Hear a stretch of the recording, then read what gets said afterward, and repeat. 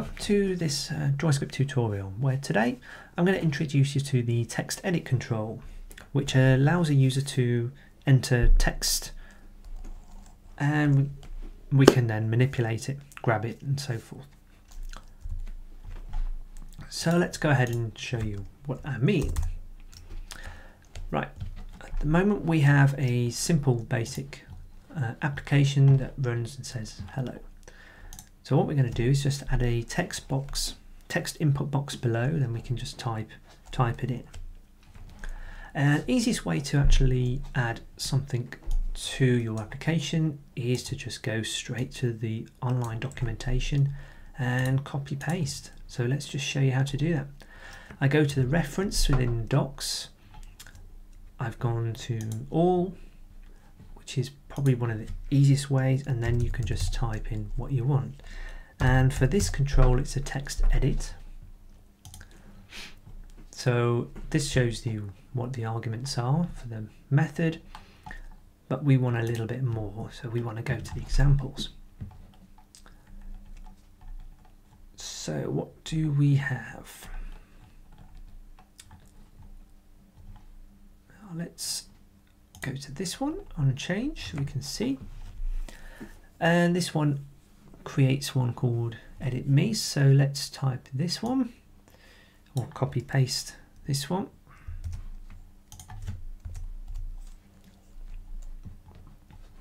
And actually instead of using create, we're going to use add and I recommend you doing that all the time now because it's um, it's the way it's all going but it's also easier to control and it takes up less uh, lines of code.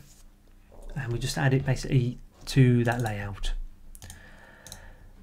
And we're saying here edit me we've got a width there you are so you can see width of 0.8 of the screen and a height of 0.3 probably don't need it that high but let's run it anyway and see what happens I'll show you here. And as you can see here's the text edit box which is rather large. So actually we're going to just get rid of that. You can just actually get rid of it completely. I'll put minus one should give us a default one. There we are. So that default size. Edit me. Me text input box. Yay and that's it. Very simple. Very easy. So let's add ourselves a button. And again let's go back to our all. And we've got add button which actually we want create button for the example. Default size we're going to just have this. So this is a button and we want the callback as well. We want the event adding uh, we're going to change that create to add and we're going to add it to the layout. And here's your callback say hello callback function. So we need to we go to this function here copy this. Don't need the semicolons anymore Uh, and it's just going to add a button to do that. But what we want to do is actually show the contents of the text box. And to do that you just call in edit and there's a method attached to that box called get text. And as you see in the pop-up box there so we need to call that.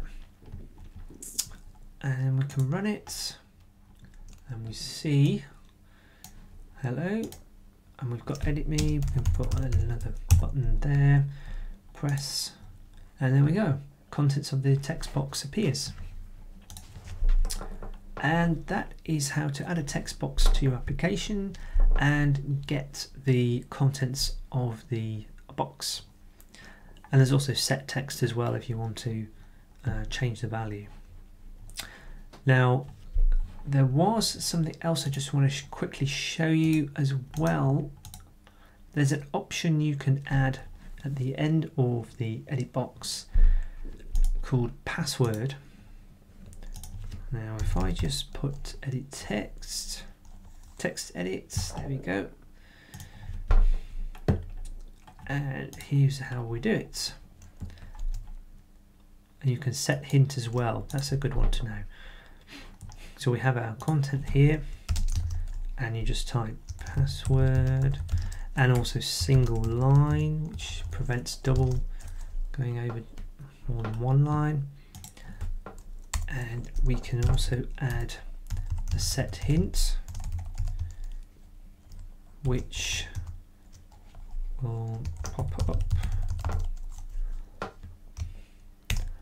so what we need to do if we've got set hint is actually remove the default value there which is the text so we can have that blank. Set hint. Now if we press run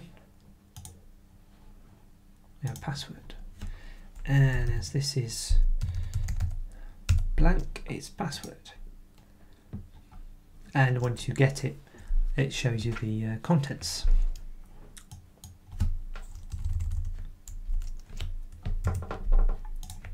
so there you go. So now we've uh, shown you how to add a text edit control to your application. We've created a button with, that gets the value of the text edit uh, control. And also we've shown you how to turn that control into a password field.